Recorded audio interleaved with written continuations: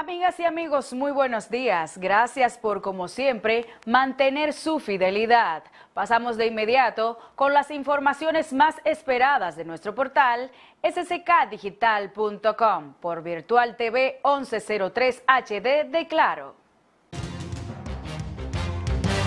Las autoridades acusaron al diputado de Santiago del Partido Revolucionario Moderno PRM, Gregorio Domínguez Domínguez, de agredir físicamente a la ciudadana norteamericana Annabella Stearns y su pareja ya fallecida.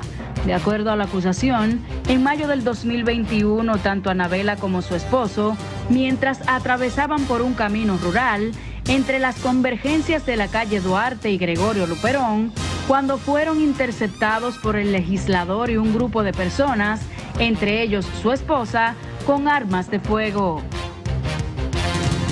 La Procuraduría General de la República depositó la acusación contra la diputada de La Vega por el Partido Revolucionario Moderno PRM, Rosa Amalia Pilarte, cuya familia es procesada por lavado de activos producto del narcotráfico.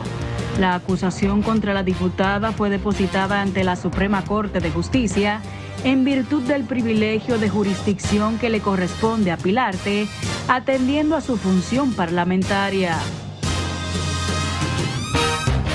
Menos una persona muerta y varias heridas de bala es el balance preliminar que se tiene de un suceso no esclarecido a media mañana de ayer miércoles que ocurrió en la madrugada en la comunidad del Rodeo de Aminilla, en Dajabón.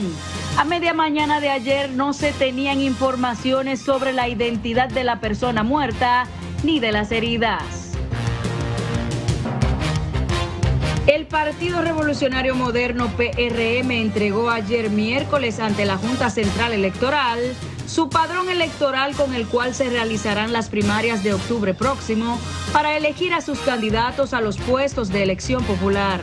La información la dio a conocer Deligne Ascensión Burgos, presidente de la Comisión Nacional de Elecciones Internas, quien explicó que el padrón del PRM es de 3.092.389 afiliados, los cuales fueron depurados y que son de electores únicos.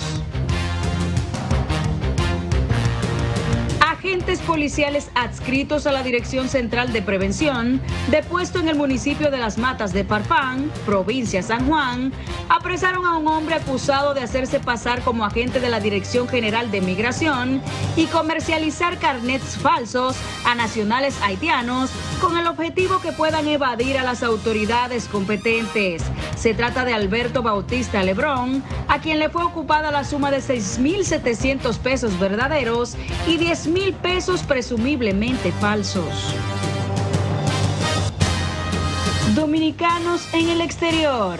El presidente de Estados Unidos, Joe Biden, reconoció a 12 personalidades, entre ellos a un dominicano, como fue el caso del obispo Luis Paniagua, quien recibió la condecoración por trascender por su obra y labor social.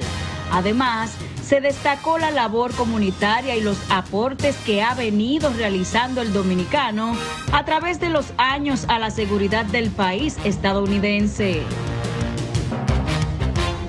Y en las internacionales, el presidente de El Salvador, Nayib Bukele, impuso el martes un cerco militar y policial en el departamento central de Cabañas en una nueva ofensiva de su guerra contra las pandillas iniciada en marzo de 2022. Si bien Bukele ha impuesto desde el año pasado cercos militares en ciudades y municipios como parte de su estrategia para desarticular a las temidas pandillas que controlaban gran parte del territorio nacional, esta es la primera vez que lo hace en un departamento completo. La policía del Capitolio evacuó el miércoles uno de los edificios de oficinas del Senado de Estados Unidos después de recibir una alerta telefónica sobre un posible tirador activo en la zona. Nuestros agentes están buscando tanto dentro como alrededor de los edificios de oficinas del Senado ha informado en un breve mensaje la policía del Capitolio en la red social X, anteriormente conocida como Twitter, agregando que todavía no hay informes confirmados de disparos. El gobierno de Bahamas se comprometió ayer miércoles a enviar 150 efectivos para apoyar una fuerza multinacional en Haití que será liderada por Kenia para ayudar a establecer la seguridad en el país caribeño. El Ministerio de Relaciones Exteriores de Bahamas explicó en un comunicado que enviará personal a Haití como parte de la fuerza multinacional una vez lo autorice el Consejo de Seguridad de las Naciones Unidas.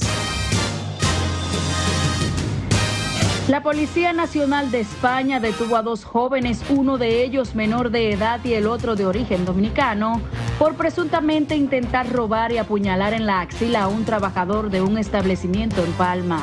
Los hechos ocurrieron en una tienda del Paseo Mallorca el pasado viernes en la madrugada, momento en el que el trabajador se encontraba en el interior del local y entraron dos varones se inició un forcejeo y uno de los asaltantes llegó a apuñalar a la víctima en la axila, según ha informado el cuerpo policial en un comunicado. Y finalmente, la Fuerza Nacional Progresista informó el martes que interpondrá un recurso de reconsideración respecto a la circulación emitida por el Ministerio de Educación en el que ordena a directores regionales y de escuelas públicas a inscribir alumnos sin documentación de identidad. El recurso de reconsideración será depositado el próximo jueves ante la Procuraduría General de la República en atención a que la medida informada por la Dependencia de Educación es inconstitucional. Y hasta aquí las informaciones más esperadas de nuestro portal sskdigital.com, donde la verdad no tiene precio. No olviden acceder las 24 horas para mantenerse informados. Les habla Gladys Heraldino. Continúen con nuestras tres verdades. Muy buen día.